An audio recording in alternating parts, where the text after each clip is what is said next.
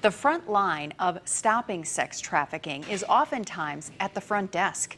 As soon as the state may require, and soon the state may require all hotels to train their staff to recognize the signs of a trafficked victim.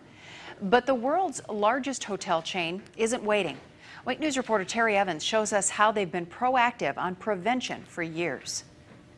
Southwest Florida beaches are a vacationer's paradise.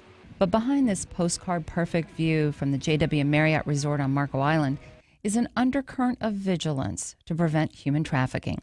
Over the past two years, Marriott International has trained 600,000 employees on how to spot the signs of human trafficking.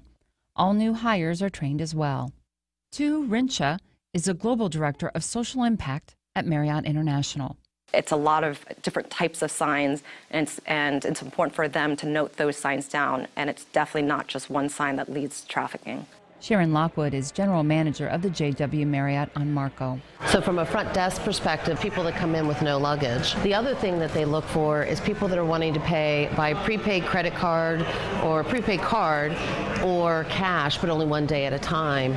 And instead of asking for a room with a view, requests a secluded location near an exit, that could be cause for concern too. You look at people more closely, you know, and see signs that I wouldn't normally see. For example, housekeeping employee, Naomi Hibbert, is alerted when a do not disturb sign hangs for multiple days, along with repeated requests for more linens and towels.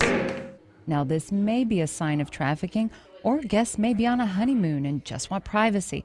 So the resort considers many signs before checking in with guests or alerting law enforcement. Lockwood says we should all be on alert. So, even as a guest, I think they can also be able to look for the signs as well. Yeah. I know when I travel, that's something I think about.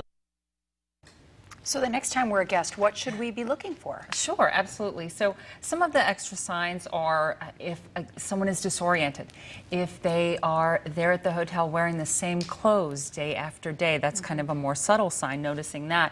Um, if they have multiple bruises that are in different stages of healing, um, if they avoid eye contact and it mm -hmm. seems pretty obvious that they can't speak freely. So those are some of the things you need to kind of keep, keep an eye out for. Now keep in mind, law enforcement says yes, if you see signs, report it, but do not approach the victim or the trafficker because that could actually put you in harm's way.